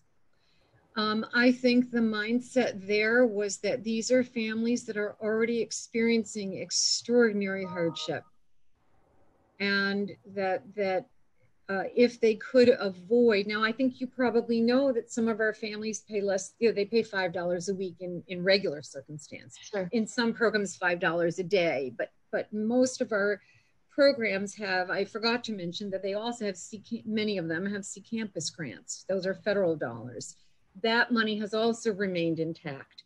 So the programs have been a lot, have been able to hold themselves whole. Uh, you know, they some of them have lost staff just because they've staff have decided they just can't work in the, during these moments. But for the most part, the staffs are intact and they are covered by these different funding levels. And and if a program was able to not charge families, they have they have not charged families. And just last week we had a conversation about you know how people came to those decisions and obviously it's based on the simple fact that these student parents are experiencing incredible hardship do you have a sense of how many have had to drop out of school because of juggling coronavirus and childcare I don't have a number, but what I can tell you is enrollments at several of our campuses were up over the summer and up in the fall. Some are down. Some enrollments are down. And I can say, although it was a very small sample, considering how large CUNY is, uh, earlier in my testimony when I talked about this project that we launched a full, full scale in January in, in that semester for 100 people, we only lost one student. So 1% in a very targeted population. Now, I'm sure that that is not indicative of CUNY's population, And we can surely try to find that out. But in the student parent world, in, at, the, at the campus childcare centers, one of their direct charges is to not let go of people. And, and so um,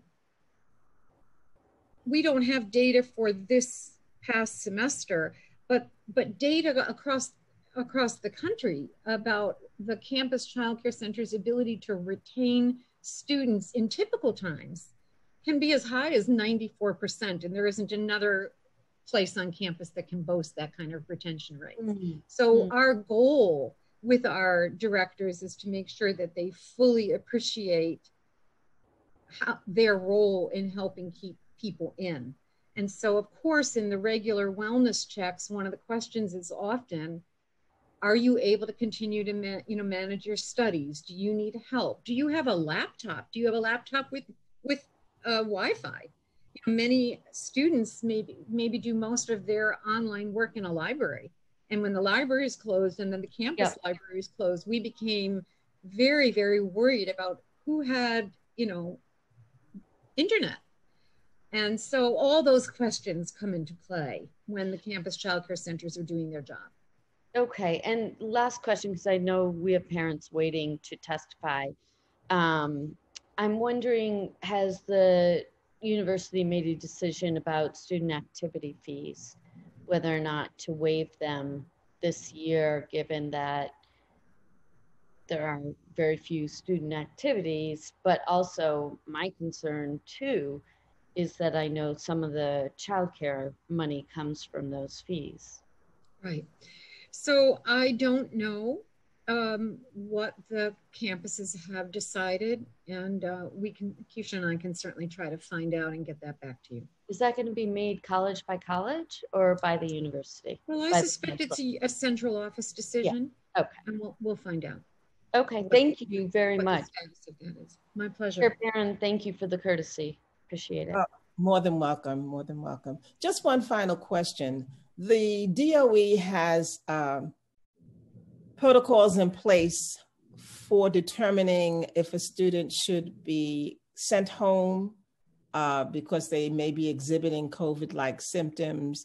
Mm-hmm. And they also have protocols that say if one child is sick uh, for 14 days, those students and staff in that classroom have to be quarantined. And if two children mm-hmm. in different classes are sick, the whole building is supposed to shut down.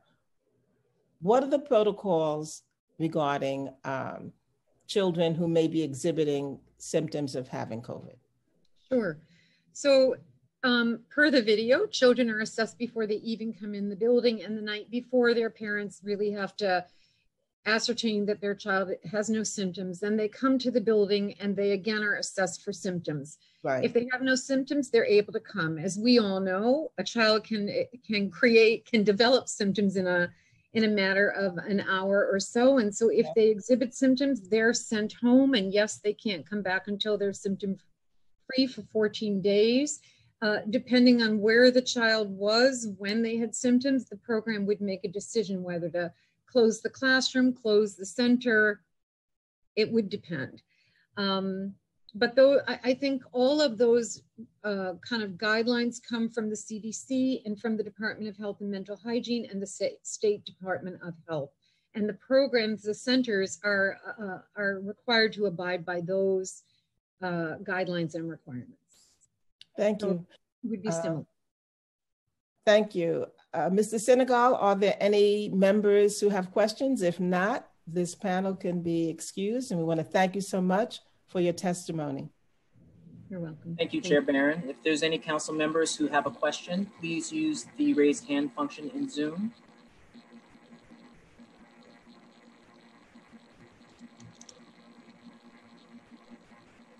There being no raised hands, we've concluded testimony for this panel.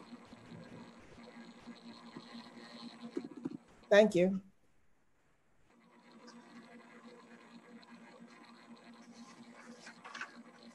Is the council now going to begin to call uh, the public for their testimony?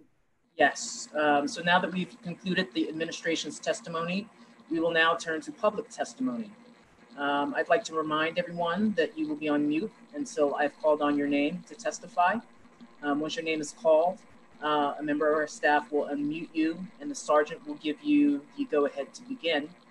Um, your testimony will be limited to five minutes. Um, wait for the sergeant to announce that you may begin before you start your testimony. So the next panel, um, which is uh, apparently our last panel, will be in order of speaking, Giovanni Picant, CUNY University Student Senate, and Amber Rivero, President, John Jay College Student Council. Giovanni, uh, you may begin your testimony when the sergeant tells you it's okay to begin. Your time begins now. Thank you. Good morning, everyone. Good morning, Councilmember Inez Good morning, Councilmember Helen Rosenthal. I would just like to say thank you uh, for setting up this panel and this hearing for us. We've been waiting, we are anxious. Um, it's been a long year um, in a pandemic, but we started the school year strong. And uh, I just want to say thank you for giving the opportunity for us to share our concerns. Um, I wrote before I want to address um, anything, my remarks that I want to say. I think I just want to thank Councilmember Rosenthal and I as Councilmember Barron for asking these tough questions because I do believe there needs to be more communication with the student leaders um, at CUNY. As we were on this panel, I checked in with the student trustee, Timothy Hunter, in regards to ask him if he knew about the student parent task force at CUNY, and he didn't know about it. And as student leaders, we would like to know which student parents are on this task force this is a student trustee. He's a member of the board of trustees. It's alarming that he does not even know that this task force is going on. Um, and my colleague Amber Rivera, she's also a parent, so she will be talking as well about um, this issue. But we are calling for more communication with student leaders because we are the ones who disseminate that information to our students, and we have been hearing a lot of concerns about childcare. But I just wanted to talk um, here today to, to discuss why we're here. And there's a lot of racial injustice and uproar that is going on in our nation, in our institution, um, that goes into our gender equity issues and how do we see equality and justice for our students. Um, and when we talk about funding for higher education, I think when we talk about more resources for mental health, uh, a more inclusive openingness for our trans students on our campuses. Menstrual equity is a huge issue. We met with Councilmember Rosenthal many times last year to try to get pilot programs on our campuses, but we do feel as if our administration should be taking a more robust approach in regards to that on our campuses. We're calling on CUNY to provide more gender neutral bathrooms on our campuses, more gender neutral focused policies, more gender neutral focused services for our students, therapy for our students, counseling for our students. Many students may feel as if they don't know where to go. They don't know which resources to go. And I, when Council Member Inez Barron brings up our centralized marketing, that is a really big portion. CUNY, the federal government has changed the Title IX policies, and CUNY has worked with us, and we were eh, part of those conversations. But I do think a centralized marketing in regards to other students who go beyond the student leaders and CUNY are very important for us to be had because it's not it's going to be the students who will become disenfranchised of these services. Despite being in a pandemic students are still going through a lot at home and we need to ensure that there are services and they know where to go. Another thing i would like to um, touch on is the support services. Support services during covid-19 is a huge huge issue within our institution as of right now. Many students are saying that being at home, they understand the pandemic, but what can we do? How can we help? Students need places to study, students need services. Food insecurity is still a major issue. Currently, at my local student government, on my local campus at City Tech, we are figuring out a way to get food to students on our campuses. Our administration has been stalling. We have been trying to put this together ever since last year. Timothy Hunter was the SGA president there. We have pressed them. When we had our first hearing last year with Toby Ann Stavisky, Senate of the Higher Education Committee, chair and we at Brooklyn College, we discussed that food insecurity was a huge issue. And that has not been resolved. It is up to our SGA now for us to figure out Who's going to help us get the food on campus? How are we going to disseminate that? It is all reliant on the student government on that campus. And I quite frankly don't think that is right. I think that we need more involvement with administration. I think there needs to be oversight with our CUNY administration to understand the services that students have, student services that are ha- having on each campus. Every campus is different, and we need to understand and ensure that each student from each campus is receiving the same services and qualities, or let's try to do at least a due diligence. Let's try to, like council member said, Inez Barron said, a centralized marketing tactic for us to ensure students know that these services are there. Because as we speak right now, I'm hearing a lot of things about the childcare centers, the task force. I took some notes. Many students don't know about these things and they are concerned and they are going through a lot. And I would say this the students who are student parents, juggling class and also juggling a student at home and trying to get services from campuses is extremely tough. And I yield over to my colleague Amber Rivera. Giovanni, if you have more, you could, uh, Chair Barron, if it's all right with yes. you. Yeah, you yes. should continue. And we're going to be asking you questions as well. But if you have more of your testimony you'd like to share, please continue.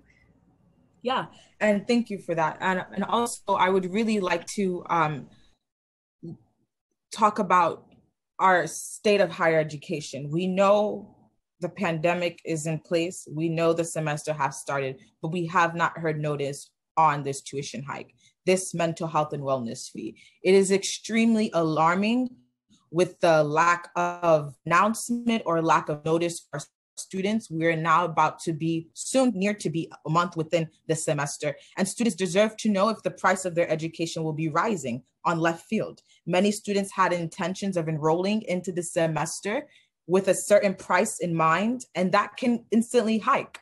And that is extremely, extremely alarming, being that a lot of students are dealing with housing and food insecurity. And my colleague and I, and we share the same sentiments at U- University Student Senate, we are really calling on oversight with CUNY to understand the support services, to understand the state of the students that they're in. Because many students have enrolled in classes at CUNY for this semester, but many students do not know how they're going to get through those classes. And it is really reliant on the student government to get students together to understand these support services. And I must admit, we are very overwhelmed. We are dealing with school, but we are also trying to keep things afloat and be the best leaders that we can be for our students. And we need our local campus administrations to step it up extremely need them to be a part of these conversations and include them in us in these conversations because I don't think it's fair that I'm hearing at a city council hearing that we have a task force um, for student parents and the trustee has never heard of it. University Student Senate has never heard of it. SGA presidents have never heard of it. And we have student parents who are student leaders. We have student parents and our student governments in our institutions. And I really, really encourage that conversation be had. And there's some oversight there. And I yield my time to Amber Rivera. Thank you. Thank you so much. Ms. Rivero, you may begin your testimony. Time starts now. Thank you. Um, good morning, Chair Barron and Chair Rosenthal, um, and all of the committee members and council members that are here today. Thank you for allowing us to come and testify. Um, my name is Amber Rivero. I'm a parent and also a CUNY student. I'm also a proud alumni of Medgar Evers College in Central Brooklyn, and I'm now a senior at John Jay College of Criminal Justice and serving as president of our student government for the college, representing about 15,000 undergraduate students within CUNY and graduate students, sorry. Um, a lot of what I'm gonna share right now actually testifies to the experience pre-COVID, so I can't really attest to what's happening for parents during COVID with childcare centers, but I'm gonna focus on concerns that I have before COVID. As a parent, I can attest to how helpful childcare can be for a student to be successful during their college journey. However, at John Jay's campus, the lack of staffing and the lack of funding, allegedly, for the John Jay's Child Care Center has led to it being very minimal in the services that they can provide students. So many students in our CUNY Edge program, which is connected to HRA, are often single parents and young parents. There's a high rate of lack of participation in extracurriculars for students in this program, and I often see them having to take their children to appointments for all of their administrative and academic needs at the college, which can be really tough and distracting. There is also a low amount of space every single semester for students to participate in the child care center services with their children, as most of the children being cared for are from college staff. A certain amount of funding for the child care centers, I am told, comes from student activity fees as well.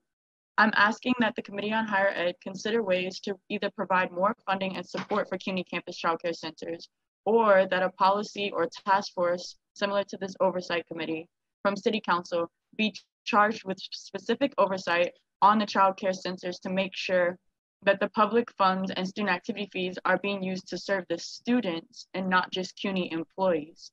I would love to actually know how many of those 1,750 childcare slots that were mentioned earlier in the dean's testimony are actually serving students' children at CUNY. Thank you.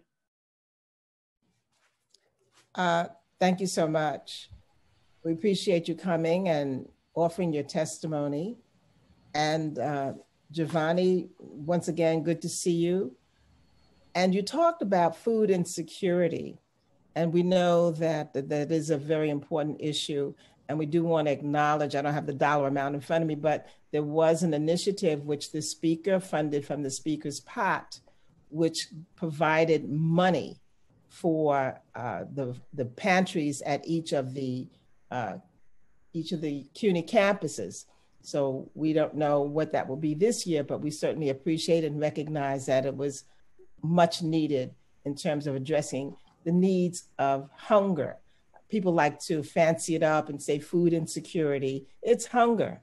It's an issue and it's a disgrace that in this country that exists, but it is in fact an issue that we have to address.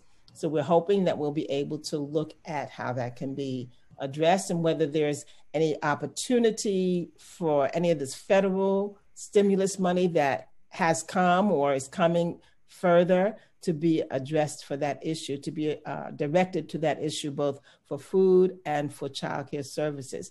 And you did raise a very important question. You said that there are not enough spots, and oftentimes the uh, faculty and staff have their children in spots that are allocated at these campuses. And we will, in fact, include that as a follow up question to CUNY because I have always been told we didn't raise the question this year, this hearing rather, but we have in previous hearings. And we've been told that first priority is for students. So, what we can do now is to request documentation, request the data that gives us the disaggregated um, uh, attendance or uh, enrollment for students, for faculty, for staff, and for community, because it's always been said that priority goes to students first. And we want to make sure that we get the numbers that validate that. And in terms of um, your pursuit of a degree, I want to encourage you. Glad to know that you're at the senior college now. So did you go, uh, Amber, did you go to Medgar for an associate's or did you just after a period of time transfer from Medgar to John Jay? Yes, I actually got my associate's degree in public administration and then I transferred to John Jay to pursue my bachelor's. Okay, good. So we'll have um, our council follow up that question to CUNY admin, to the central, and I'll turn it over now to Council Member Rosenthal, Chair Rosenthal. Thank you so much, Chair Barron. And, you know, uh, I really do want to give a shout out to Dean Cleary for staying on with us and hearing yes, from the students yourself.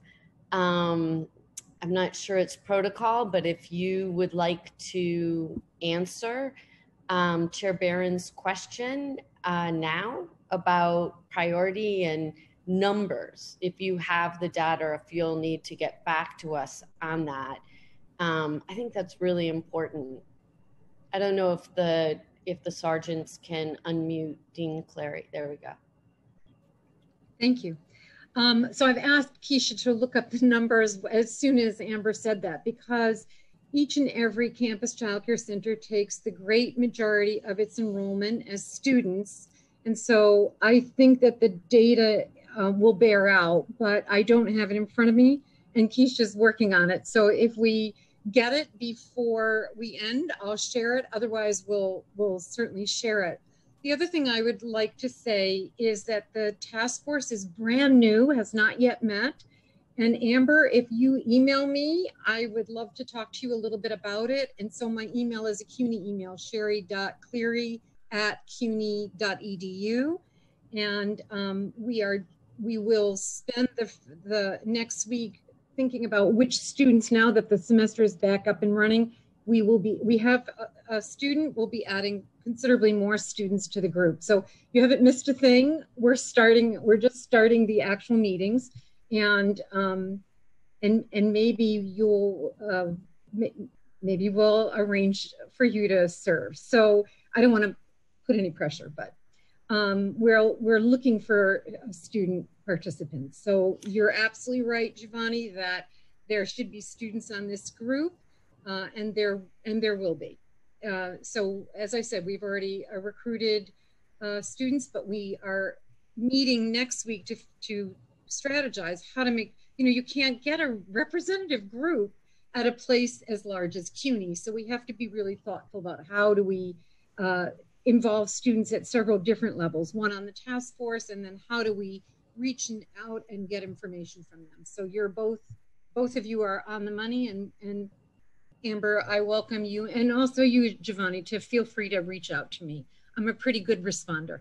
And, um, and so we'll try to get the numbers for you. Um, and I'll, and I'll, I'll just get, I don't want to hold you up. So we'll get back to you. Great. Thank you, Dean Cleary, and, and sort of addressing this right on the spot. Um, Giovanni, you know, is on the student senate. I mean, both are, but so she can, you know, make sure that Timothy Hunter is involved, um, given that he's a trustee, and really appreciate your openness um, to this right on the spot. That's great. Um, and and to both uh, students, um, Giovanni and Amber, I mean, your leadership here is extraordinary. I can't believe how you're able to do your classes and be such great leaders um, for your school, for the students, um, in communicating what you are seeing, what you are experiencing up up the ladder. That's so critical and you should both know you do it extremely well. Um, the other CUNY students are, are really lucky to have you. Um, I wanted to ask, actually, Amber, but I get the feeling uh, because I knew uh, sometimes you have to jump away for a second. But um, Amber, if you're still around, but Giovanni, maybe you can take a stab at this as well. Just sort of your sense from knowing your friends who are student um, parents. Do you get a sense of how the lack of childcare um, affects your friends and whether or not you know people who have had to uh, step away from college for a while because they did not have childcare options? Well, I um I don't I don't know anybody specifically, but I met this one girl um during my time at University Student Senate a couple months ago. She did have to take some steps back from her college experience at your college due to childcare and a lack of financial hardships and just many things overall. And I do have a colleague in my own personal student government, and we were she's so passionate about getting this food um, pantry rolled out on campus because she expresses how sometimes she doesn't eat to ensure that her daughter eats. Um, there's sometimes that she doesn't know where she's going to get food and when we were on campus, we did have some money from the Peachy grant that gave us vouchers, and we were we were able to go across the street to get some food from the market or from our cafeteria. Being that the campus is closed, and this is exactly what we were afraid of. Last year, we were pressing our administration. Um, if we had a food pantry, distributions, no contact distributions could have been done. There are campuses I know are doing it right now. You request it online. I believe BMCC has a great mechanism of doing that. Students can request online exactly what non perishable items they would like, and then they set up an appointment to pick it up to make sure that social distancing is in place, everything is in order, and there's a schedule. And I think that on my campus, the lack of urgency of creating a food pantry, as you mentioned, there was money to go to a food pantry. There is no physical pantry. If you all go visit my campus as of right now, there's nothing the administration can tell you, but there's evidence that the students have been pushing for this for months, way before the pandemic has came. And now we are still meeting with local or community organizations to figure out how we are going to get food on campus. And I would assure you and say that parents, they're going through a lot. They are very stressed. They don't know what's when's going to be their next meal. They know they have to get through these classes and the lack of support, I feel like is slowly deteriorating and deteriorating that, you know, their motivation and their urgency, you know, to continue college. And we feel so helpless because simple things such as hunger should not be an issue at an institution where we have leaders who go on TV and say CUNY is this, these students go for free, and we have a food pantry. And the reality is that it's not. Our college president was aware that there wasn't a food pantry because after the student trustee mentioned that at a hearing, he spoke to him. And it is now September 10th, 2020. We have still not have a food pantry. Mm. Right. Uh, oh, Amber, we have another yeah. us. Hi. Hi, sorry, my children were actually acting up in the background while you guys were asking that question. So fine. That's you fine. just you you just improved this hearing hi. by a million percent. Say hi. Uh, hi. We're so happy you're here. Thank you for joining us. Thank you. Ah. Uh, um, I just want to say that um, the city council, we just want to acknowledge that last year the speaker did fund uh, an initiative for food pantries, and that was $1 million. And that is again uh, available and has been put into the budget for this year for a million dollars. We want to acknowledge that happening.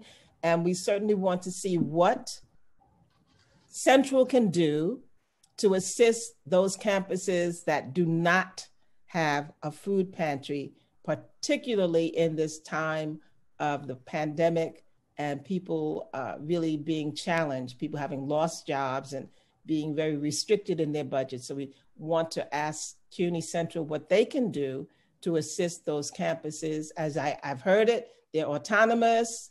There are perhaps uh, certain things that they're not required to do.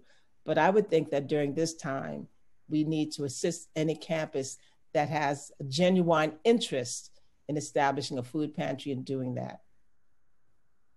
Nice. Um, and just as a quick follow up to that, um, Giovanni, you might want to do a little research on the free um, free freezers. This is a new thing where people are setting out refrigerators and the community is is packing them with food and they're popping up throughout the city um, amber while we have you because i know it's uh, you're always juggling things as a parent um, could i ask you uh, is there uh, from your experience what were the biggest issues in terms of getting childcare at cuny and is there anything CUNY could do to alleviate those concerns? Um, are there any that we haven't have not mentioned today that that CUNY Central could address? Um, I think, like I mentioned, the CUNY Edge program is actually HRA recipients, um, and you know a lot of those students um, are single parents or young parents, and so um, our childcare center at John Jay you're not allowed to like do drop-ins and you're not and, and like you have to if you if your child is enrolled in the childcare center you have to like give them your class schedule and then you have literally five minutes to pick them up after class ends. So there's no extra grace period to go to like financial aid or to an advisement or even to like a career workshop to get your resume worked on in case you're trying to apply for a job. Um, and so I, have tried within the college to kind of push back on that and ask why there's not a little bit more time allotted because it is very difficult to like talk to your advisor and plan for your future or find out what's going on with your bursar hold while your child is kind of like you know not busy um and, and doesn't really understand what you're, what you're doing. Um and i think that just even like giving that extra support right um if you're paying for childcare services why do you have to immediately pick your child up five minutes after class I don't think that the faculty and staff are being required to do that after their work hours. And I don't know if that's only John Jay specific. I haven't talked to other childcare centers, but I know when I was at Medgar Evers that um, I think it was maybe like $5, $10 a week for parents. Um, it was really affordable and um, it was just a lot better policy structure for parents and staff. And I never heard of anyone complaining about how the child care center wasn't conducive for parents to be able to go to school at Medgar Evers, whereas John Jay is a larger community. And yet, um, I personally have never been able to send my child there. Um, so I drop him off in Brooklyn and then I travel an hour to from South Brooklyn to Manhattan. Um, and then I have to rush back after classes or student government, right, and pick him up. And it would have been nice if I would have been able to utilize it. But how many other parents, you know, just really need an hour to study or time to go to the library for exams and don't even have that space. Why are they paying for childcare and it's not the same childcare that would be offered at a private daycare or regular pre-K? I don't know again if that's only John Jay specific, but that was my personal take or struggles with it. That is very helpful. Wow, mute just at the perfect time. Um, I saw Dean Cleary taking notes, and I'm sure she's going to follow up about that um, that is a critical insight where the center is not meeting your needs. It thinks it is because it's got you covered while you're in class. But the truth of the matter is, as a student, you have many other things you need to spend time on. So if they really want to give you comprehensive help, they need to be able to stretch that window. Um, so thank you, thank you for that. Um, you know, I do just want to mention that the task force, it, it sounds like it's critical. Uh, it's it's great that it's starting. It's too bad it didn't start a long time ago. Um, but I really hope that an agenda item, a very important agenda item, will be letting students know what is happening. Um, you know, we hear regularly of the problem of communication between the school administration and students and student leaders, um, whether it be childcare or last year, you know, even shutting the school down and, and kids being told they had to evacuate their rooms in you know less than 24 hours. Um, communication is always the key um, to implementing any program successfully. And i really hope there will be time devoted to the issue of messaging you know what is the message what is the message at which campuses how do we cover every base, you know, snail mail, email, social media to make sure that bulletin boards, to make sure that the student parents know what's available for them.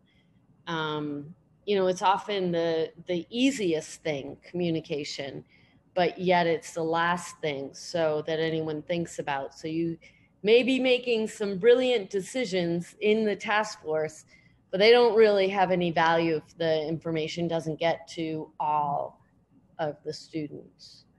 Um, so thank you for bringing that up. I think I'm about to wrap up. Chair Barron, you know, certainly the floor is yours, but to the students, if there's anything you would, that we haven't covered that you would like to talk about a little bit more, you should feel free. Uh, I think we covered everything so far. One thing I'll make it our business to do is follow up with you all to let you know the status. I think we have some verbal commitments on engaging students in this process, and we'll be sure to update City Council maybe monthly on how we think communication and childcare is going from the student perspective. I think it's going to be very conducive uh, because I've been, you know, doing this student advocacy stuff for a year, and I, I truly feel like this is the year we need to get things done, actually. And uh, I look forward to working, to sitting on the child care um, student parent task force along with Amber Rivero, and we will rally up the students. We have no students who will gladly be able to provide their input and their experiences from many various backgrounds. We can be sure to get you a good handful of students. Uh, Amber just reached out to me she said she had to leave. She was late for a meeting, but she says thank sure. you. Sure, sure. Uh, Thank you for passing that along. Um, I know that I've asked you this question before, but when are you running for office? I, I just, you When- know, when- you have me there. I, I'm ready to engage in your campaign. when I when I when I make sure the academics are in order and we get the degrees that we need to get and we do what we need to do, then we can think of next things. But All as right. a leader, I'm a student first and we still have homework and classes to go to. So that's Fair, fair, good point. But just remember, you have myself. cell. important. Thank I'm you. there for you. Thank you, Councilman Rosenthal. All right. Thank you. Thank you, Councilmember Chair Rosenthal. Um, and, and I echo the comments of my colleague. And as, as Giovanni, as you talk about this is a time to make a change, you referenced earlier, I believe, in your testimony that the this country has been a model of so many injustices and inequities. And people oftentimes hear the phrase, we're all in this together. And to that, I say yes, but we're not all in the same kind of boats. Some of us are in ocean liners, some of us are in yachts, some are in sailboats or rowboats, and some of us only have life jackets. So, what we've got to do is use this opportunity to make sure that as we go through this storm and as we come out at the other end, that there is the equity that does not exist now. We've got to raise our voices and share our ideas about how to make that happen. And it's not just in education, but in all of the dynamics and all of the social institutions and corporate institutions and economic systems that exist as well. And I did find some references for uh, some, one of the uh, news programs had links for organizations that address the issue of hunger. I think the program was Hunger in America. And there are three websites that I'd like to share. One is for everyone, eligible for everyone, and it's called feedingamerica.org, feedingamerica.org.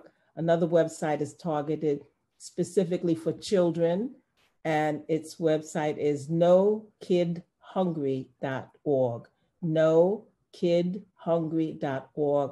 And there is a separate site for veterans, and that site is feedourvets.org, feedourvets.org. So hopefully that will be of assistance as well.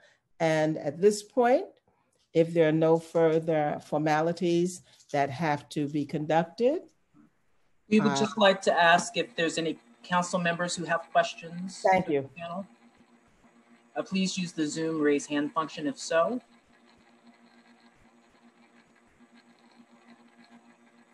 And seeing none, uh, it appears that we've concluded public testimony for today. Thank you. Having said so, I will now adjourn this hearing. Thank you, Councilmember Rosenthal, for your